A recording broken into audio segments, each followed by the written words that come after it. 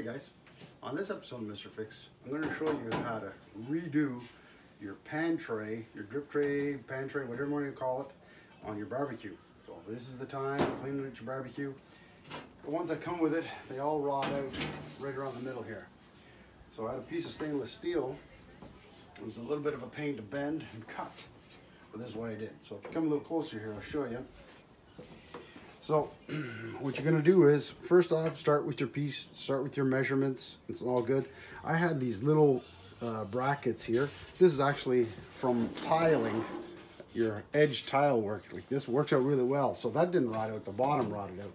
So once you have your little pan here, and you're able to bend it into shape, what you're gonna do is mark it all out, put it, put it in your vise, bend it as much as you can, get the right um, bends in it. This is stainless steel, so I was using a uh, grinder with a diamond bit to cut it. Then use whatever you can to bend it into place.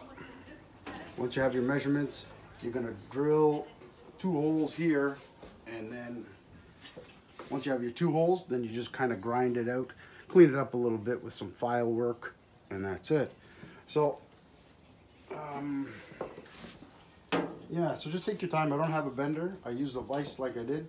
Uh, like I said, once you have everything in place, that's why I used the same edge.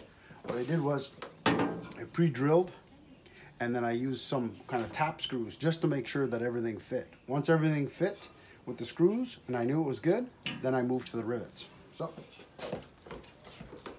let's see if it fits. These have two little edges on it like that, perfect. Come closer, you'll see it right here. You see this? And it just kind of slides into place.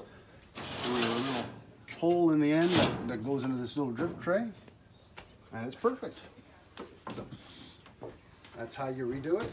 Obviously, the thicker the metal and stainless steel is the best. But I came, I was lucky. I found this piece and I made it work. So good luck to you in redoing your barbecue tray. And thanks for watching, Mr. Fix.